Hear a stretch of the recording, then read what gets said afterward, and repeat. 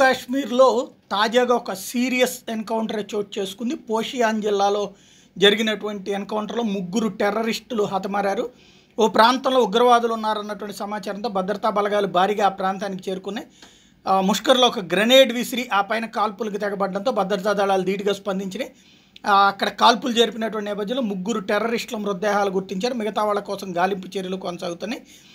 ఈ కాల్పుల్లో మరణించిన ఉగ్రవాదులు ఆల్ బదర్ సంస్థకు చెందినటువంటి వాళ్ళుగా భావిస్తున్నారు. వీళ్ళందరూ స్థానికులేనని ఇటీవలే ఉగ్రవాద సంస్థలో చేరారని పోలీసులు తెలుపుతున్నారు. ఒక ఉగ్రవాది లొంగిపోయినట్టు కూడా సమాచారం. ఇక్కడ ఏంటంటే ఈ మధ్య కాలంలో ఆ పాకిస్తాన్ నుండి ఇటు పంపించడానికి కష్టం అవుతుంది. స్లీపర్ సెల్స్లో కూడా పెద్ద ఎత్తునే బయటపడుతున్నారు. ఇంకా మిగులున్నటువంటి స్లీపర్ సెల్స్ని వాళ్ళనే ఒక బృందం కింద ప్రకటించుకుని వాళ్ళల్లో వాళ్ళనే ఒక హెడ్ కింద అనౌన్స్ చేసి వాళ్ళ ద్వారా అరాచకం చేయడానికి ప్రయత్నాలు జరుగుతున్నాయి. ఇందుకు గాను అవతల నుండి డ్రోన్ల ద్వారా పంపించేటువంటి ఇట్లాంటి ఎక్విప్మెంట్ వీటితో చేయాలన్నటువంటిది అయితే వీళ్ళ ఎక్స్పీరియన్స్ తక్కువ కావడంతో తొందరగానే పోతున్నారు. వీళ్ళని కూడా ఇక్కడ ఏమవుతుందంటే ట్రాక్ చేస్తున్నారు. ఇంతకు ముందైతే కనుక లోకల్ వాళ్ళని ట్రాక్ చేయాలంటే కష్టం. ఇప్పుడు ఈజీగా ట్రాక్ చేస్తున్నారు. పోలీస్ డిపార్ట్మెంట్ కూడా వీళ్ళతో కలిసి ఉన్నటువంటి నేపథ్యంలో ఇంకోటి స్థానికులు కూడా మంచి నెట్వర్క్ ఇంటెలిజెన్స్ నెట్వర్క్లు నడుస్తున్నాయి. దానివల్ల ఇట్లాంటి వాళ్ళు తొందరగా దొరుకుతున్నారు.